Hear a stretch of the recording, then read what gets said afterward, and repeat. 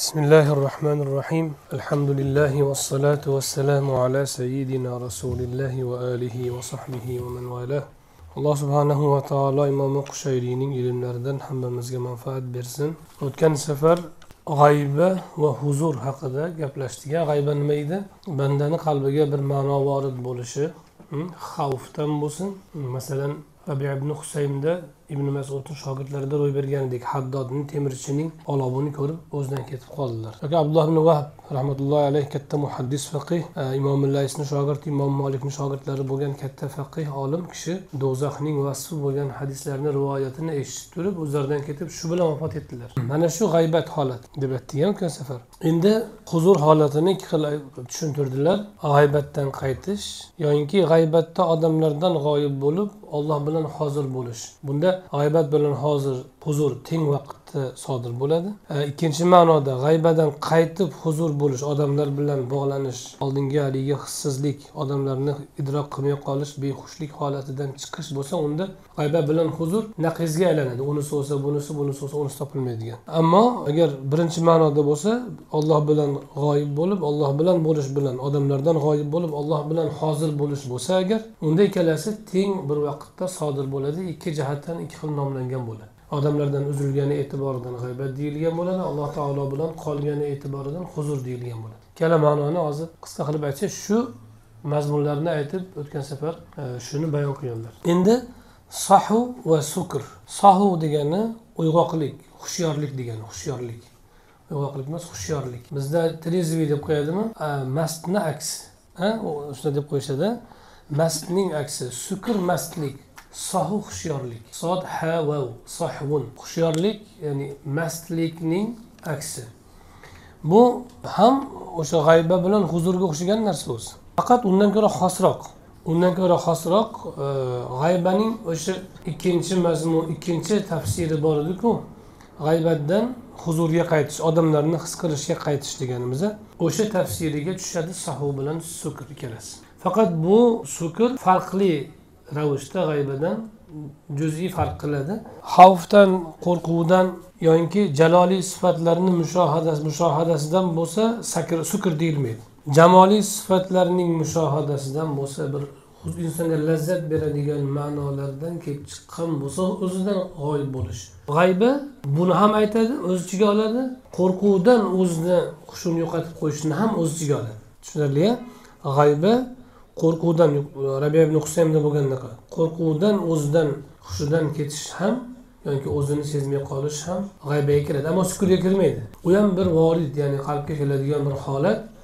Ammo jalolat sifatlaridan jaloliy sifatlardan kelgan bo'ladi. Shuning uchun uni sukur deyilmaydi. Sukurni ajratishlarini boisi g'aybani bir ko'rinishi o'zi asli bunda lazzat bo'lishi alohida boshqa. Narigida iztirob bo'lishi mumkin yoki odamda qo'rquv paydo bo'ladi. Lekin bu sukurda lazzat paydo bo'ladi alohida. Yani odamlardan uzilib g'oyib bo'lib ularni his qilmay qolishni yonida lazzat bo'ladi ruhiy huzur bo'ladi.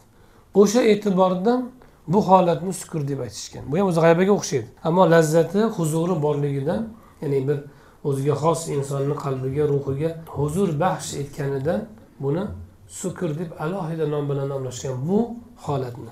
Endi nimaga shu mastlik degan so'zni topishdi boshqa so'z topishsa bo'lmasmidi degan savol tug'ildi. Yoyinki e, o'sha e, adabiyotlarga kirgan keyin hozir kiradi pastda ham baytlar hozir o'qib o'tdi o'tildi qordimni o'qib o'tdi.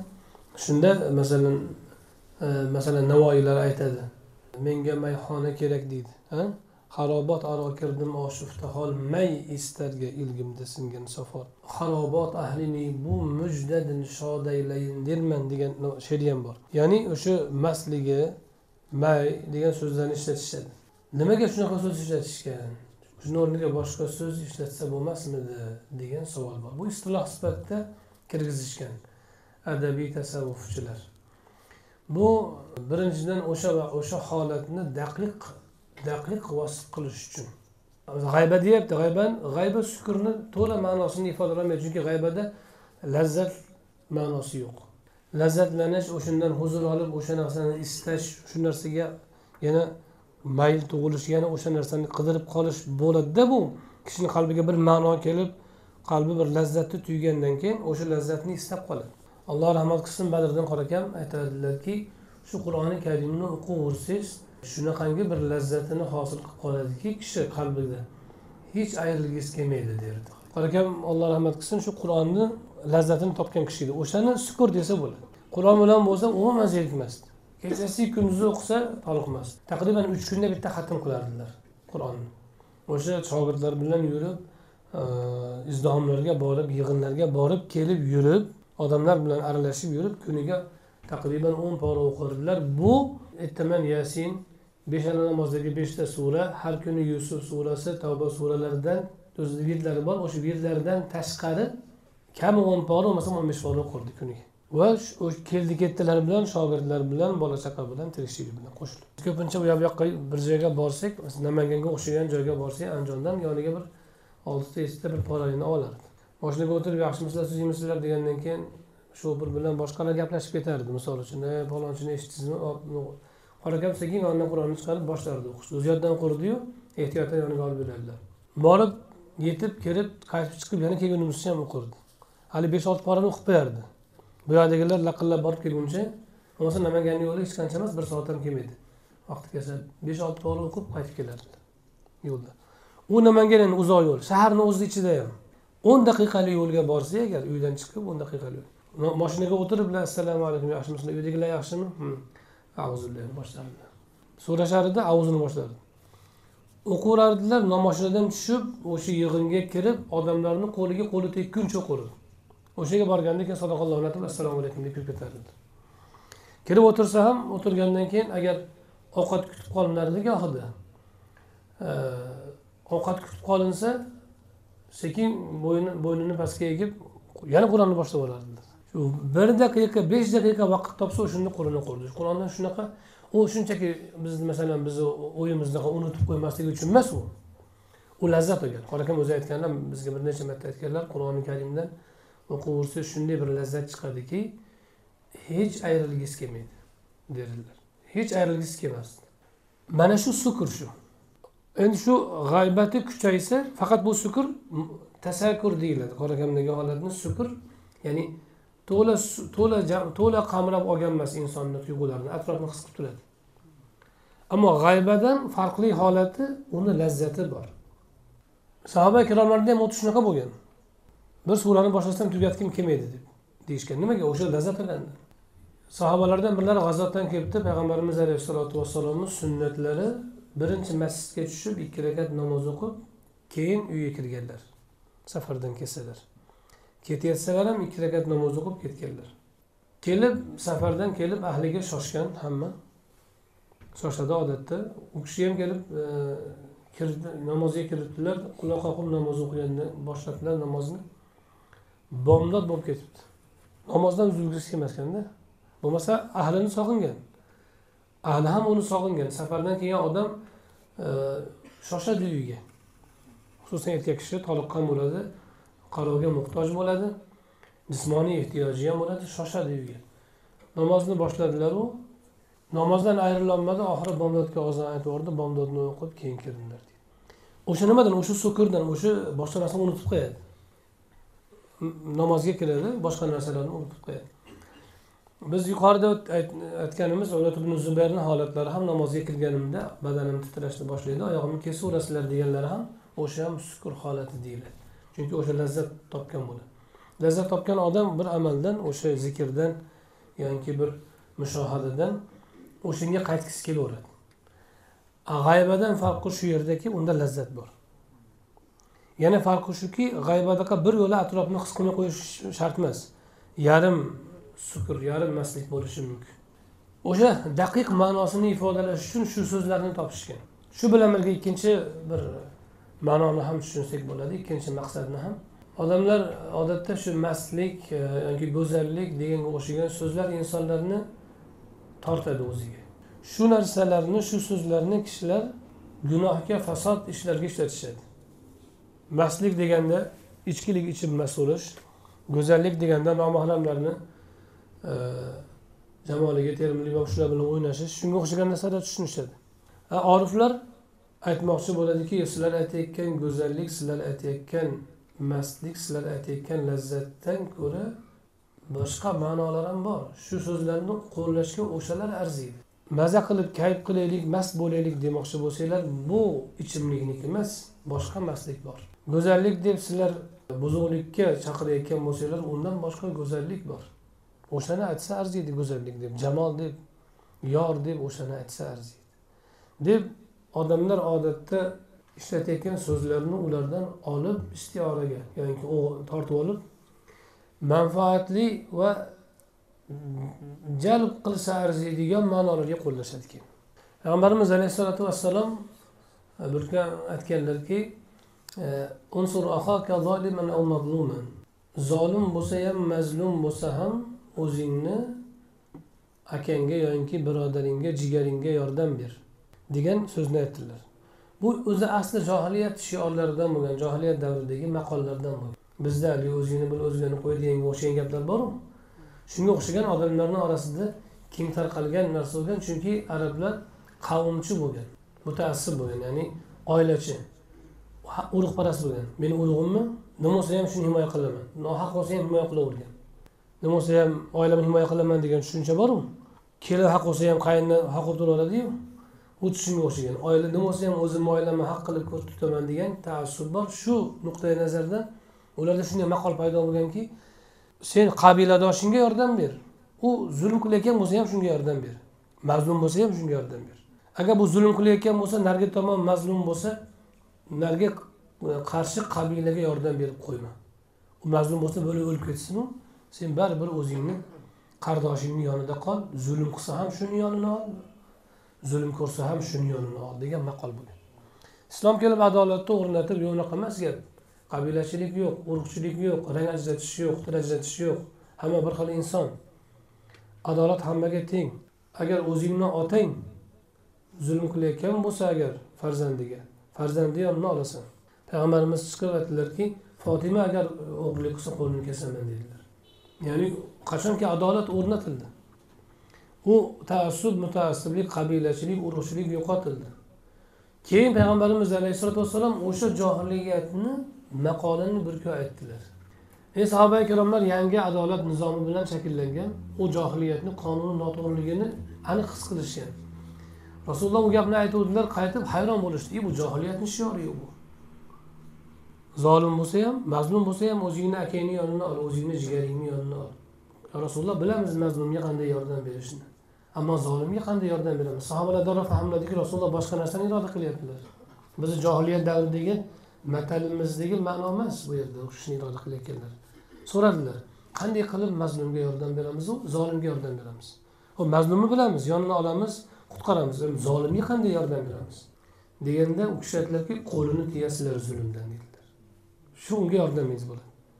Chunki u zulmdan tiyilsa dunyoda yoki oxiratda oladigan zulmni jazosidan qutulgan bo'ladi shu bilan qutqargan bo'lasiz. Shu yerda rasululloh nimani qildilar? Odamlarni orasida tarqalib turgan bir gapni noto'g'ri gapni to'g'ri ma'noga yo'naltirdilar. Noto'g'ri bir gap bor edi shuni to'g'ri ma'noga yo'naltirdilar. Ya'ni to'g'ri tabilini chiqarib berdilar. Xuddi mana shu uslubni qo'llashgan. Odamlarni orasida may go'zallik mastlik va hokazo degan so'zlar bormi?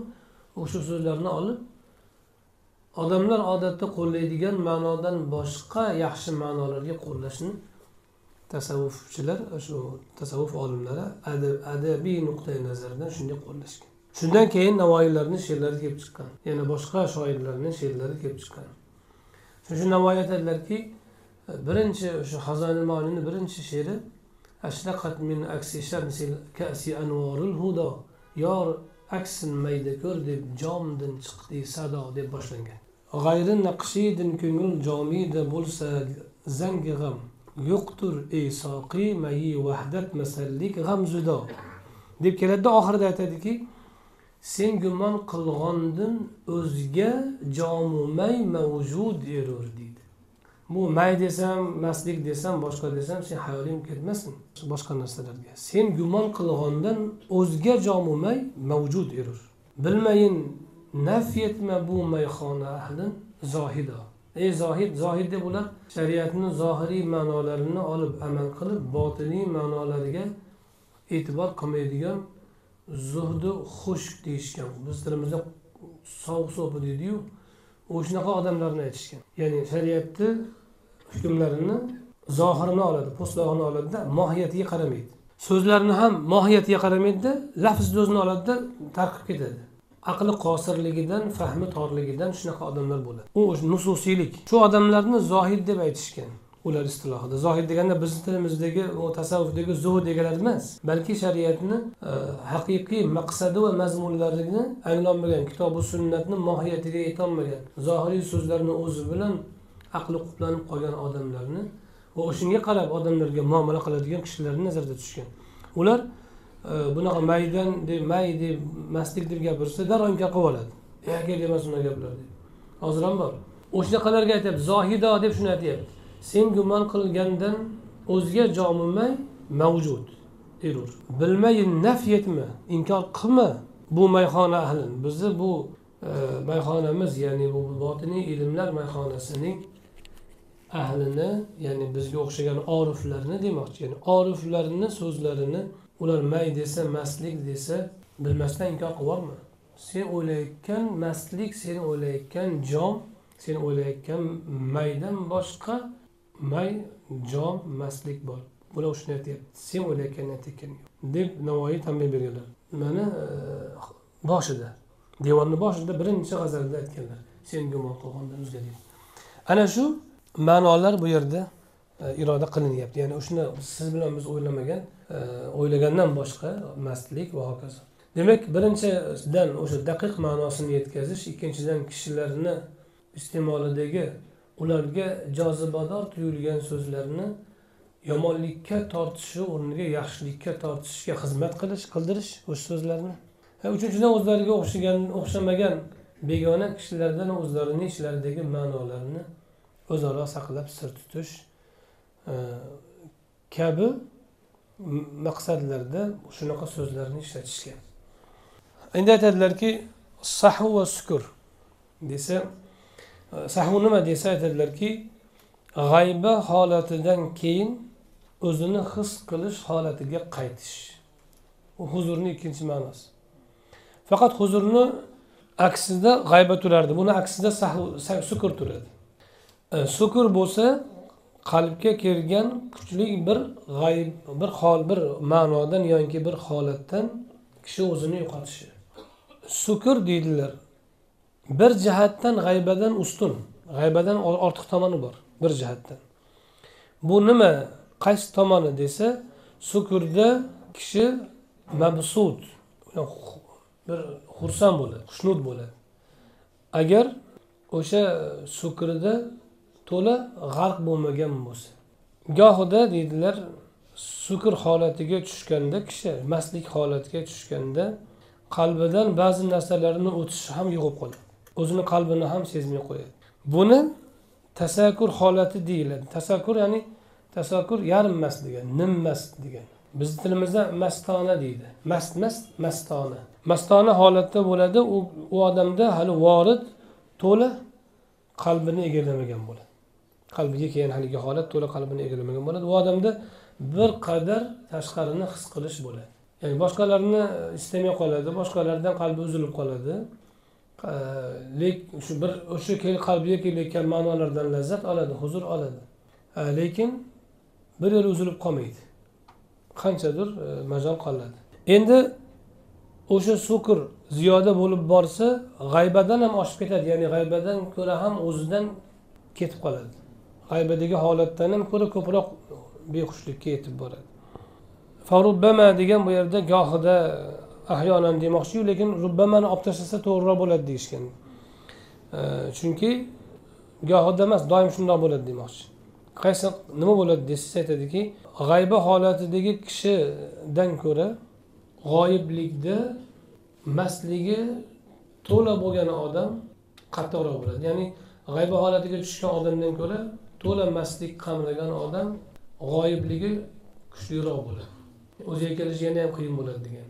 Tashqarini his qilishdan yana ham uzilgan bo'ladi e, ammo g'aybadagi odam bo'lsa mastlikka tushgan odamdan ko'ra g'aybada ko'proq bo'ladi agar mastligi nim bo'lsa yarim. Yarim mast odam ya'ni aytmoqchiki yarim mast odamdan ko'ra g'aybaga tushgan odam ko'proq o'zidan ketgan bo'ladi g'oyib bo'lgan bo'ladi. Ammo mastligi to'la shakllangan odam mastlik to'la qamragan odam g'aybadagi odamdan ko'ra ko'proq hushidan atrofdan hissidan uzilgan bo'ladi. Endi bandalarda g'ayba nima hol nimadan kelib chiqadi desa qalbida bir rag'bat yoyinki rahbat ya'ni qo'rquv yoyinki bir bir narsani muhabbatni mavjud bo'lishidan kelib chiqadi g'ayba holat xavf va rajo taqozolaridan kelib chiqadi g'ayba holat yuqorida biz rabiya ibn husaynni ko'rganimizdek abdulloh ibn eshitganimizdek. Ammo sukur bo'lsa mastlik bo'lsa faqat mavajid egalaridagina bo'ladi. Ya'ni vajd egalaridagina bo'ladi. Bu yerdagi mavajid egalari deyishdan murod vajd egalari deyishdan murod ya'ni alloh taologa yetishib qo'ygan kishilar shu e, shundan ya'ni visolga yetib qo'ygan kishilarda bo'ladi. G'ayba holati quyi tabaqada ham bo'ladi. Ammo sukur holati faqat yuqori tabaqalarda ya'ni qalbi to'la alloh taolo bilan bog'lanib qolgan odamlardagina bo'ladi. G'ayba bo'lsa to'la bog'lanmagan holatda ham bo'lishi mumkin demoqchi. To'satdan bir xavf ushlab turib bandaga agar jamol sifatlari kashf bo'lsa unda mastlik hosil bo'ladi. Ruhi quvnab ketadi. Va qalbi e, muhabbatdan uchadi degan hamma degani o'zini yo'qotadi degan muhabbatdan. Ya'ni sukur jamol sifatlarini unda namoyon bo'lishidan hosil bo'ladi. shu to'g'rida bayt aytishadi qaysi to'g'rida desangiz o'sha jamol sifatlari mushohadasidan mast holatga tushish tushishga misol tariqasida quyidagi she'rni aytishadi فصحوك من لفظي هو الوصل كله وسكرك من لحظي يبيح لك الشرب ya'ni lafzimdan sening uyg'oqliging hushyorliging sahving ya'ni mening lafzimdan bo'ladi visolning bori shu Mastliging bo'lsa mening lahzimdan bo'ladi. Lafzim emas lahzimdan ya'ni mulohazamdan bo'ladi. U senga shurbni ya'ni may ichishni muboh qilib beradi. Bu yerda gap lafzimdan murod nima meni amrimni bajarib meni amrimga bajarib amrimni bajarib qaytarig'imdan qaytib buyrug'imni qilishing mana shu hushyorligingdan bo'ladi. Hushyorliging shundan iborat bo'ladi. Ya'ni bandaning alloh subhanahu va taoloning amrlarini bajarishi yelib yugurishi shu yo'lda hushyorlik holati shu. Vaslni bori shu deyapti asli vasl shu. Endi meni muroqabamdan sen mast bo'lasan. Mastliging muroqabamdan hushyorliging amalingdan. Amal bilan band bo'lish bilan hushyorligingni ifoda qilasan. Muroqaba bilan band bo'lishdan mastlikni topasan. Natijada senga o'sha muhabbat mayidan qolish nasib bo'ladi. Buni hadis sharifdagi o'sha bandam nafl ibodatlar bilan manni manga yaqin bo'lib boraveradi boraveradi. Oxiri man uni qo'log'i bo'lib qolaman. Ko'radigan ko'zi eshitadigan qulog'i bo'lib qolaman. Uni yaxshi ko'rganimdan keyin degani o'shani aytyapti. O'sha holatni o'sha banda amal qilib borishligi sahv holati. Keyin go'yoki alloh taoloni muroqabasida g'arq bo'lishi va alloh taolo ham unga bir tajalli qilishi sukur holat. Endi bu adabiyot shunaqa bo'ladi tahsilda adabiyot e, adabiy zavqi zavqni tuygan odam buni oson tuyadi. E, odatda adabiy zavqni e, tuyish uchun adabiy zavq o'zida bo'lsa odam oson tuyadi. Uni tushuntirib berish qiyin narsa. Endi biz qo'ldan kelgancha aytib beryapmizu. Masalan bir kishiga bir kulgili gapni aytsangiz tushunmasa kulmaydi. Kulish uchun o'sha daqiq ma'nolarni tushunish kerak o'sha mutoyibadagi yoki latifadagi tushunmasa uni oxiri siz sharhlab tushuntirib bersangiz baribir kulmaydi. O'zi topgan odam kuladi. Odatda bir qiziq voqeani latifani aytib bersangiz bir lutfli gapni. Kim kuladi? To'g'ridan to'g'ri lutfni o'zini tushungan odam kuladi. Lekin uni sharhlab berib tushuntirib berib tushundingmi desa ha tushunganmi deydi. U o'zi o'sha zavqni o'zi tuymaguncha kishi lutfga e, kulolmaydi. Xuddi shunga o'xshagan bu adabiy zavqlarni ham adabiy zavqni to'g'ridan to'g'ri tuygan odam maza qiladi. Ikkinchi odamga buni yetkazib berish qiyin. Xuddi bu asalni ta'riflab ikkinchi odamni og'ziga asalni ta'mini yetkazing degan. Yetkazolmaysiz. Asalni yeysiz juda ajoyib ekan guldan bo'lgan ekan shunaqangi bir o'tkir shunaqangi shirin deb aytaverasiz. Narigi odamni og'zida hech qanaqa ta'm paydo bo'lmaydi. Eshitadiyu lekin og'zida ta'm paydo bo'lmaydi. U o'zi tatib ko'rib o'zini og'zida shu ta'm bilish hissi uyg'onganda keyin o'sha asalni ta'mini biladi. Ungacha gapni eshitaveradi. shirin asal ekan kuchli asal ekan hidli asal ekan deb lekin asalni ta'mi yetib bormaydi u odamga bu zavq ma'nolari ham zavqiy ma'nolari ham shunaqa bo'ladi undan oldin keladi bu hozirgi yuqoridagi baytdan oldin فما مل ساقيها وما مل شارب عقار لحاظ كأسه يسكر اللب aytmoqchiki soqiy soqiy ham malollangani yo'q isib qoluvchi ham malollangani yo'q May quyilyapti quyib beruvchi ham malollanmasdan quyib beryapti. Ichayotgan ham to'ymasdan ichyapti uqor deb bir o'sha vaqtdagi xamirni bir mm, turini aytishgan. Olijanob turini. Mulohaza uqoriki deydi mulohaza mayiki deydi. Uning qadahi uning kas deb qadahni o'zini aytmaydi. Ichiga sharob to'ldirilsa keyin qadah kas deydi. Alayhim va kasin va kasin min main degan kas deb qadahni ichiga sharob to'ldirilsa keyin kas bo'ladi. Bo'lmasa qadah deyiladi kasuhu yuskiru lubba degani ya'ni uni to'ldirilgan qadoh qadahi ya'ni o'sha mayi aqlni mast qiladi.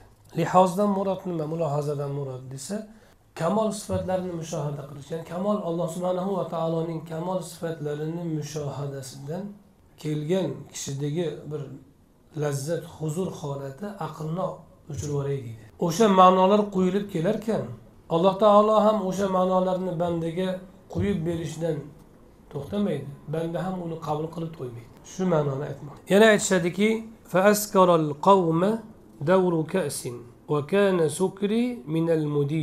qadahlarni aylantirildi. Bu yerda endi masalan shu yerda bir necha kishi o'tirgan bo'lsak shu ma'noni eshitilsa hammada har xil qalbida huzur hosil bo'ladi. Hammada bir xil bo'lmaydi.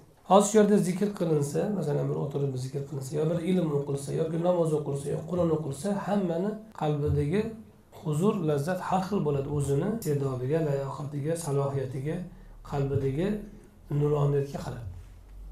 Kimdir umuman kesakka o'xshab eshitib turishi ham mumkin. Shu ham gap bo'ldimi shu ham deb eshitishi mumkin. Kimdir huzur olib o'zini yo'qotib qo'yishi ham mumkin.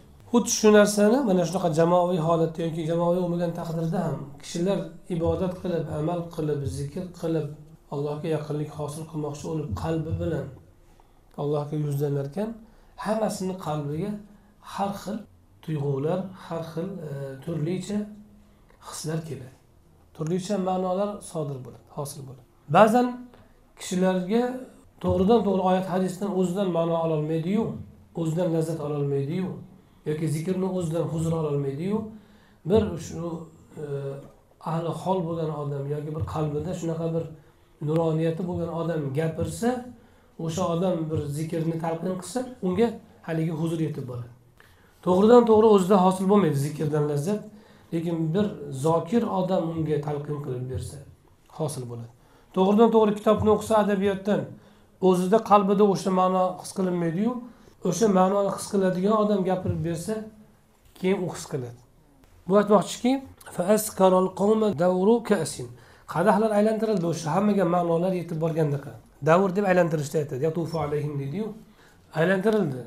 Man nimadan mast bo'ldim? Man aylantiruvchini e, o'zidan mast bo'ldim. Ya'ni man zotni mushohadasi bilan mast bo'ldim. Kishilar ma'nolarni mushohadasi bilan mast bo'layotgan bo'lsa man zotni mushohadasi bilan mast bo'ldim demoqchi. Aylantirib ma'nolarni berayotgan zot bor ediyu o'sha zotni o'zini mushohadasida meni mastligim og'ir demoqchi. Bularni mastligi aylantirilayotgan qadahlarning mastligidandir. Mening mastligim aylantirguvchini o'zidan deydi ya'ni bu yerda turli ma'nolardan kishida mastlik hosil bo'lsa qalbida huzur hosil bo'lsa g'ayba hosil bo'lsa ular masalan ma'nolardan bo'lishi mumkin sifatlardan bo'lishi mumkin. Maniki zotni mushohadasidan demoqchi mandagi mastlik albatta bu qalbdagi qalbdagi zotni mushohada degani hayol qilish emas qalb ko'zining ko'rishi bo'ladi. Endi yana bittalari aytadiki li sakratani sakra deb bir marta mast bo'lishni aytadi. Sakaratani ikki ikki marta mast bo'lish. Li sakratani va lin nudmani vahidatun nudman deb o'zi nadimni ko'pligi. Nadim o'sha e, majlisda o'tirganlar va unga xizmat qiladiganlar. Manda ikkita mastlik bor. Boshqa majlisda o'tirganlarni mastligi bitta bo'lsa manda ikkita mastlik bor. Ular bir marta mast bo'lsa man ikki marta mast bo'laman. Ular oddiy bir mast bo'lsa man ikki barobar mast bo'laman. Mani mastligim ikki barobar ularnikidan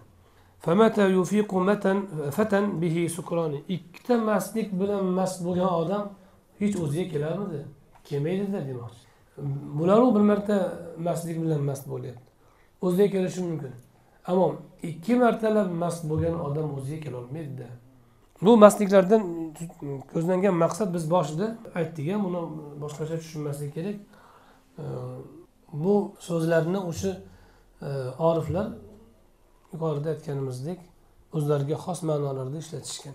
Ustoz roziyallohu anhu aytdilar deganda bu yerda qushayriyni o'zini aytyapti. Bu yozayotgan e, ko'chirib ko'chirib oluvchi imlo qilayotgan odam. Va alam bilginki deb gap boshlashlaridan bilamizki quyidagi gapi ahamiyatli bo'ladi. Bilginki sahu sukurni hisobicha bo'ladi. Sahu nima? Hushyorlikmi? Maslikka kirmay turib hali kishiga shunaqa voratlar kelmay turib mana siz bilan biz hushyor yuribmizu biznikini sahu deydimi sahu demaydi. Maslikdan keyingi hushyorlikka qaytishni sahu deydi. Undan oldingi holatda sahu deyilmaydi. Maslikka yetmaguncha sahuga yetib bo'lmaydi. Tushunarli maslikdan qaytish sahu bo'ladi. Ammo hushyor hamma hushyorlik sahu bo'lolmaydi bo'lmasa hammamiz ahli sahu bo'lib qolamiz hozir. U sahu deyilmaydi. Ya'ni hushyorlik ahli bo'lolmaymiz biz. To mast bo'lib undan qaytmaguncha. Ya'ni sahudan murod mastlikdan qaytish. Endi mastlikni darajasi biz yuqorida aytdik nimmastlik bo'ladi yoki tugalmaslik bo'ladi hushyorlik ham shunga qarab bo'ladi. Qalbdagi o'sha sarmastlik qaysi darajada bo'lsa keyin hushyorlikka qaytgandagi kishining holi ham o'shanga yarasha bo'ladi. Yuqori bo'lsa yuqori quyi bo'lsa quyi. Kimniki sukri haq bilan bo'lsa uning sahvi ham haq bilan bo'ladi hushyorligi ham. Haq bilan degani olloh bilan degani emas bu. Bil haq emas bihaqqin nakra kelyapti. Olloh bilan bo'lsa degani emas bu haqiqiy ravishda bo'lsa. Bu nima degani?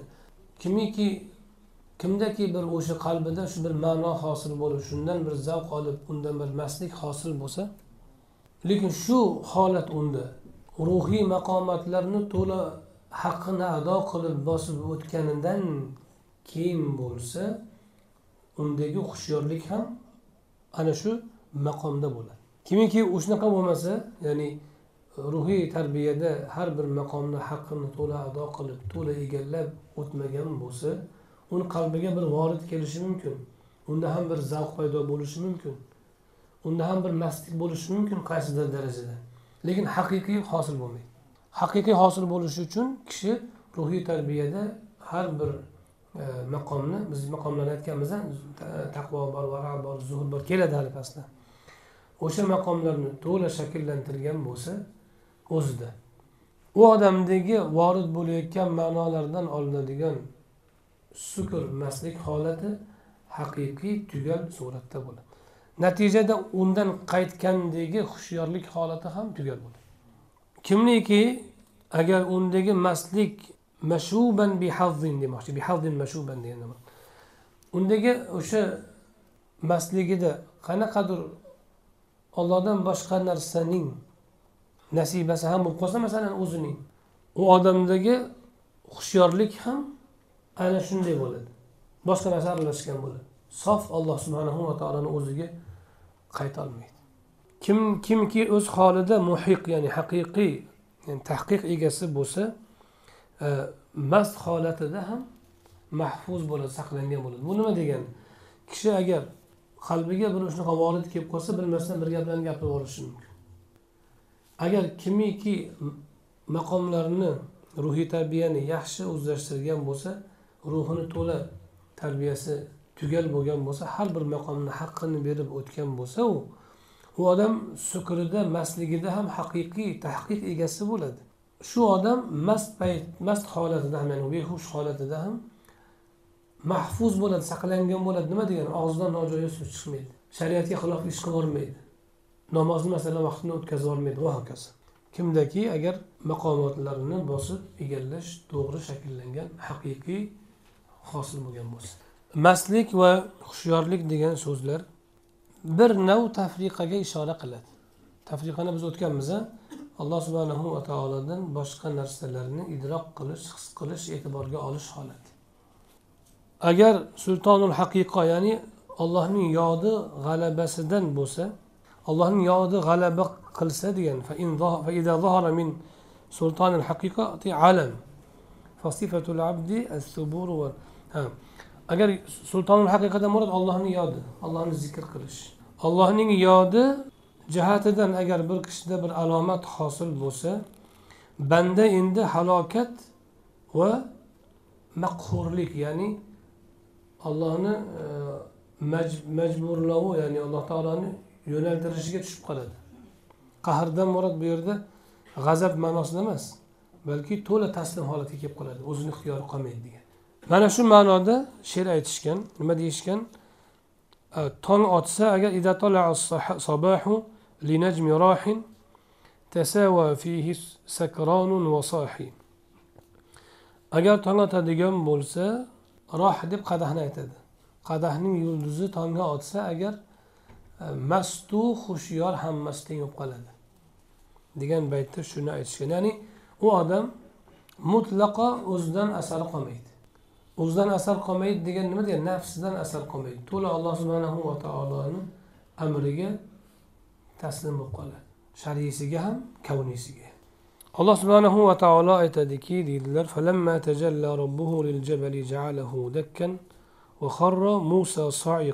muso alayhissalom alloh subhanahu va taoloni jamolini ko'rishni allohdan so'rab arini anzur ilayk deb aytganlar. Shunda olloh mani ko'rolmaysan lan taroni ko'rolmaysan mani. Lekin tog'ga tajalli qilaman agar u turolsa joyida ko'rasan. Falamma tajalla oyat karimada keyin keladi. Qachonki alloh taolo tajalli qilganda toqqa tog'ni parcha parcha qilib yubordi. Muso alayhissalom hushidan ketdi shunda behushlik qildi. Mana shu oyatdagi shu ma'nodan olishgan mast bo'lib behush bo'lish ishorada endi ya'ni tajalli nima degani? Alloh taolo o'z jihatidan nimanidir zohir qilgan toqqa. Tog' ko'tarolmagan shu.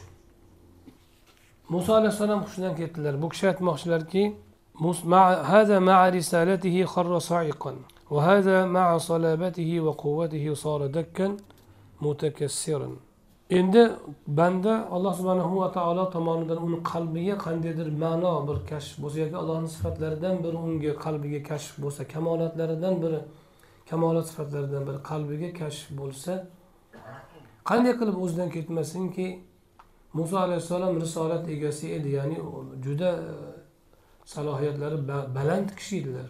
Ruhoniyatlari o'ta kuchli edi risolat egasi edi u kishi. U kishi toqqa qilingan tajalliga bu kishi hushdan ketib qolyaptiyu. Tog' shunchalik e, bir zalvorli subut sobit narsa bo'la turib o'ta bir e, mustahkam narsa bo'lib turib tog' parchalanib ketyaptiyu. Alloh taoloni tomonidan bandaga bir ma'naviy tajalli bo'lsa qanday qilib u endi o'zini tutolsin u albatta shunaqa holatga tushadida demoqchi. Banda mast holatida hol tarzida bo'ladi. Endi hol u odam nisbati holga bo'ladi. U odamda bir hol sodir bo'ldi deysiz ya'ni. O'sha hol nimani taqozo qilsa o'sha holatda bo'ladi. Ammo hushyorlik holatida ilm ilm ustida bo'ladi. Ilm shohidida ya'ni ilmga asosan bo'ladi degan. إلا أنه في حال سكره محفوظ لا بتكلفه وفي حال صحوه متحفظ بتصرفه lekin kishi mastlik holatida o'sha g'aybiy mastlik holatida alloh taolo uni saqlaydi gunohga qo'l urib qo'yishdan bilmasdan bir noto'g'ri ish qilib noto'g'ri so'z aytib qo'yishdan o'zi takalluf qilib emas allohni inoyati bilan ammo hushyorlik holatida bo'lsa o'zini tasarruf bilan o'zini o'zi saqlaydigan bo'ladi odobni saqlaydigan bo'ladi deydilar endi shu holat nimadan hosil bo'ladi? Shu sukr holat degan savol bor endi.